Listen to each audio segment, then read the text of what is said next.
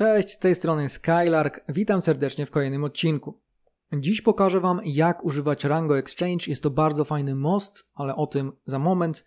A zanim zaczniemy, pamiętajcie, że w opisie każdego odcinka znajdziecie link do naszej grupy na Telegramie, także serdecznie zapraszam do dołączenia. A teraz zaczynajmy.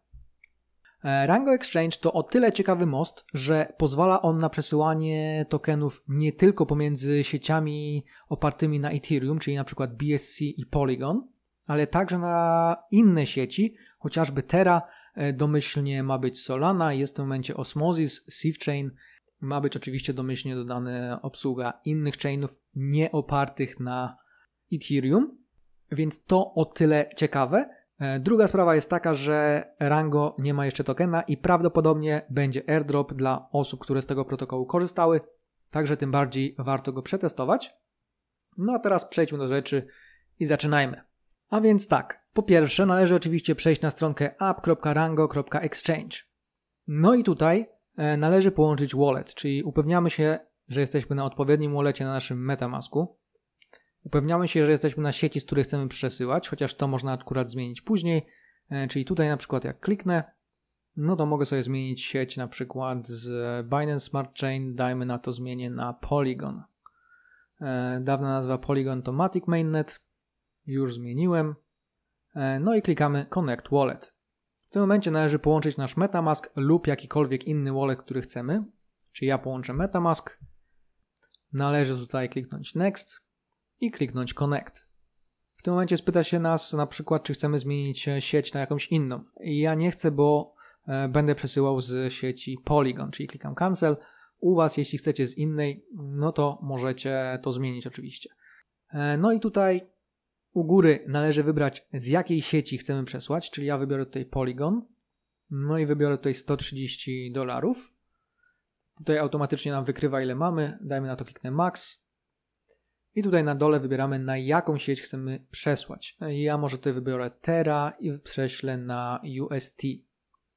No i tutaj od razu mamy informację o tym, jaki jest impact, czyli 0,93% e, i jakie jest fee. Tutaj mamy różne e, drogi do wyboru.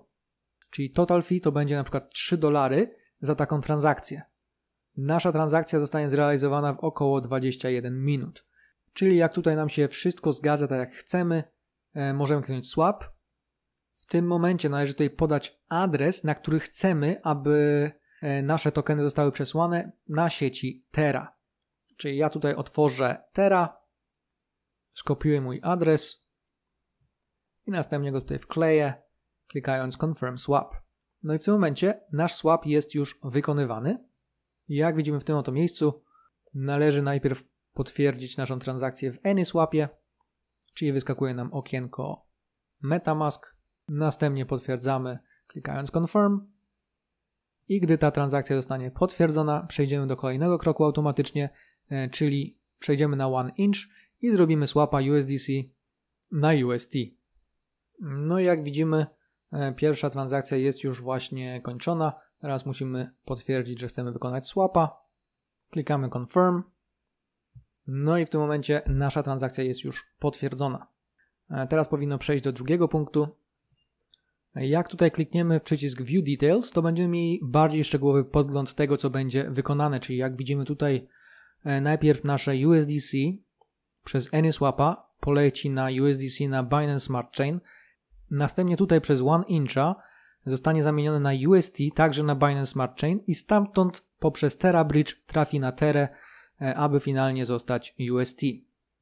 W międzyczasie, gdy te transakcje są wykonywane, e, może się pojawić na przykład informacja, że należy zmienić naszą sieć na BSC. Podobnie, gdy jesteśmy w tym mniejszym widoku, także mam tu informację, proszę zmienić sieć na BSC, czy jakąkolwiek inną, przez którą będzie nasz transfer przechodził. Czyli w tym momencie klikamy sobie tutaj i zmieniamy naszą sieć na BSC czy też jakąkolwiek inną, przez którą chcemy, aby transfer przeszedł. No i w momencie, jak zmienimy tą sieć na odpowiednią, wyskoczy po chwili okienko MetaMask. No i w tym okienku trzeba będzie e, potwierdzić kolejną transakcję, która ma być wykonana na tym danym chainie. E, czyli w tym momencie jest to approve na Rango Exchange na BSC, czyli klikam sobie tutaj confirm. No i w tym momencie e, mamy tutaj, widzimy, że jest to transakcja Approved TX na 1 incha i gdy to zostanie potwierdzone, pewnie będzie druga transakcja e, normalnego swapa, także na 1 inchu. No i w tym momencie widzimy, że spending USDC zostało e, potwierdzone i następna transakcja jest automatycznie egzekwowana, czyli e, kolejny to będzie prawdopodobnie swap na 1 inchu z USDC na UST. No i oczywiście potwierdzamy transakcję w Metamasku i kolejna transakcja jest już tutaj wykonywana. Kiedy swap zostanie wykonany, przejdzie do kolejnego kroku, czyli przesłanie naszych UST przez TeraBridge na TeraChain. Należy transakcję oczywiście potwierdzić w Metamasku i gdy ją potwierdzimy, należy uzbroić się w cierpliwość, ponieważ to już ostatni krok i nasze tokeny trafią właśnie na Tera. E, tutaj także mamy podgląd na to, ile USDC wysłaliśmy i jak po kolejnych krokach ten stan wyglądał. Czyli tutaj e, po pierwszym kroku te opłaty to były 0,9 dolara na przykład, e, później tutaj 0,3 dolara przy swapie. No i teraz mamy ten ostatni krok z Binance Smart Chain. Lecimy przez TeraBridge do Tera, aby mieć USD. Zobaczymy, jakie będzie finalne saldo i ile to w sumie potrwa. Jak widzimy, transakcja została już e, potwierdzona, czyli pierwsza część jest wykonana. E, teraz już te nasze środki są na bridge'u. No i w tym momencie nasza transakcja została już wykonana i jak widzicie zapłaciliśmy nieco ponad 1 dolara, czyli te szacowane fee były większe niż rzeczywiste e, i zamieniliśmy 132,3 USDC z Polygonu na 131,1 USD na Tera.